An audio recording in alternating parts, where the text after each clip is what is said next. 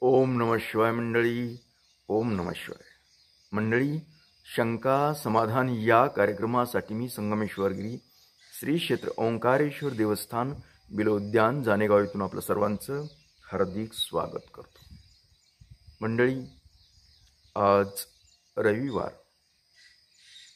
म्हणजे आज मी तुम्हाला सांगत असतो की तुमच्या प्रार्थना म्हणजे तुमच्या समस्येसाठी जे का आजारपण असतं विवाह जमत नाही संतती नाही कर्ज बाजारे नोकरीच्या संदर्भात बेरोजगारी व्यवसाय चालत नाही अशा वेगवेगळ्या अडचणी समस्या यासाठी आज प्रार्थना तुमच्याकडून मागवत असतो.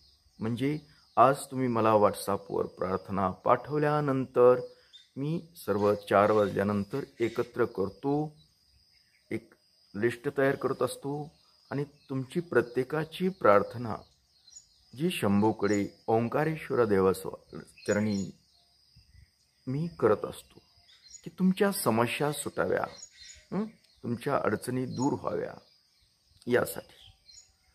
आता बऱ्याच जणाला वाटतं की काय तुम्ही उपाय सांगतात दी आणि प्रार्थना करायला सांगतात? हो. की उपाय बऱ्याच वेळेस उपाय कधी कधी कामी पडत नाहीत पण प्रार्थना केलेली नक्कीच कामी पडते. हा माझा अनुभव आहे. कारण प्रार्थना करणं हे खूप पूर्वीपासून आहे. खूप पूर्वीपासून आहे. उपायापेक्षा प्रार्थना कधीही उपयोगात येते. कधीही. आणि ते सहज करायसारखे असते. उपायाला बऱ्याच गोष्टी असतात. काही गोष्टी कराव्या लागतात.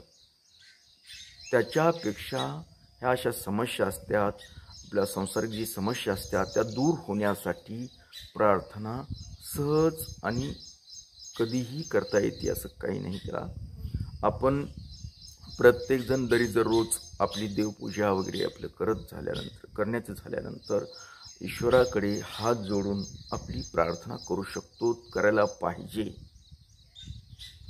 कारण प्रार्थनेतून खूप काही बदल होतो. तुम्हाला जो ताण असतो टेन्शन असतं ते दूर होतं.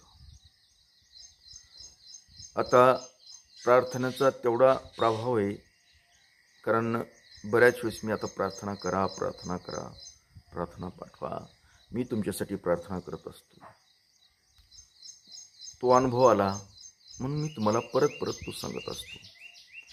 कारण प्रार्थना ही सर्व काही तुमच्या सुख समाधानासाठी केल्या जाते. तर तुम्ही उपायही करा. पण त्याच्याबरोबर ही प्रार्थना मी घरीही करू शकता तुम्ही ईश्वराकडे. त्या प्रार्थनेतून एकतर आपण देवाशी बोलत असतो आपण सतत सतत बोलत राहिलोत तर एक ना एक दिवस देव तत असतो म्हणे. आपलं कर्तव्य त्याला काय पैसा खर्च होतो का काय होतं? खरंच करत राहायचं. तसं जमन तसं करत राहायचं. आणि मनामध्ये शेक विचार आणायचं नाही की कुठं प्रार्थना काय होतं कुठं काय होतं. तुम्ही जर तशा पद्धतीने विचार करत असताल तर तुमची प्रार्थना सफल होणार नाही. होतच नाही. माझ्याकडे खूप लोक आहेत. खूप खूप लोक आहेत करतात आणि काही ठराविक कालावधीसाठी करतात. महिना दोन चार महिने की लगे पुन्हा विसरून जातात. कारण त्यांचा अगोदर तो विश्वास नसतो त्या गोष्टीवर. आणि विश्वास नसल्यानंतर काम होत बी नाही. खूप लोक आहेत.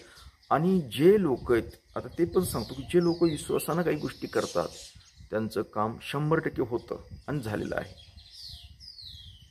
कारण तुमच्याकडून जो प्रतिसाद येतो काम झाल्यानंतर फोन करून मेसेज करून जी सांगत असतात. त्याच्यावर मला कळतात ना गोष्टी काय काय होईल काय नाही. तर तुम्ही मनोभावी मनातून तुम्ही तुमच्या देवाजवळ म्हणजे घरीसुद्धा करू शकतात आणि माझ्याकडेही पाठवू शकतात. तुमचं हे काम मला करण्यास आनंद आहे त्याच्यात. कारण मी ह्या गोष्टी जर केल्या आणि तुम्हाला त्याच्यातून सुख समाधान भेटत असेल तुमची समस्या जर सुटत असेल तर मला त्यात खूप आनंद आहे. तर सांगायचं तात्पर्य म्हणजे आज रविवार आहे. तुम्ही आज चार वाजेपर्यंत तुमच्या प्रार्थना माझ्या व्हॉट्सअप नंबरवर. आता जवळजवळ सगळ्यांनाच व्हॉट्सअप नंबर माहीत आहे तरीही मी देईल त्या नंबरवर तुमच्या प्रार्थना जरूर पाठवा. कारण उद्या सोमवार आहे आणि सोमवारी सकाळी आपल्याला त्या प्रार्थना आपल्याला करायच्या असतात.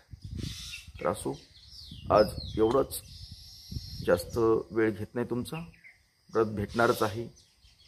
उद्या सकाळी याच वेळी आणि याच ठिकाणी. तोपर्यंत मंडळी ओम नम शिवाय.